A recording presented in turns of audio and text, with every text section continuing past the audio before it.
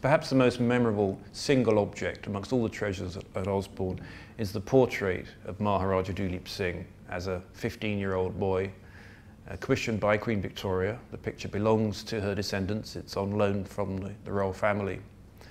And uh, it was really his arrival uh, in, in, England at Buckingham Palace that uh, really brought alive Queen, for Queen Victoria the, the, the whole romance of India.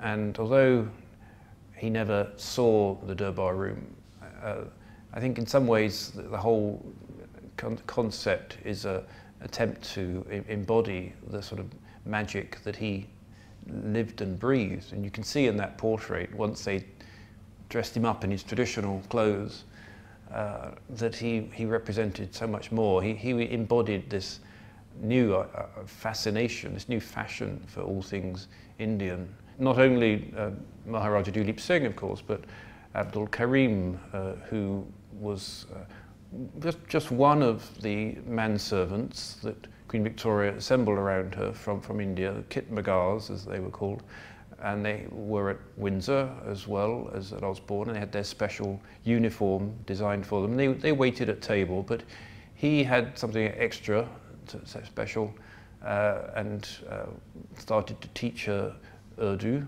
uh, and so she could speak it to him, which created great problems for all the court courtiers because they didn't know what they were talking about. And she was having a private conversation with a, a manservant, which was very worrying. And she had her own diary in, in Urdu, she could write it. And so he became the teacher, the munshi, she called him for short, and a great favourite.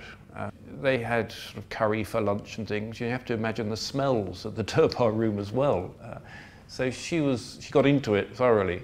Um, I don't think he had any role in the design directly, but, uh, but like Maharaja Duleep Singh, I think he, he, he managed to convey and conjure up and constantly remind her of, of this amazing unknown continent and all its riches.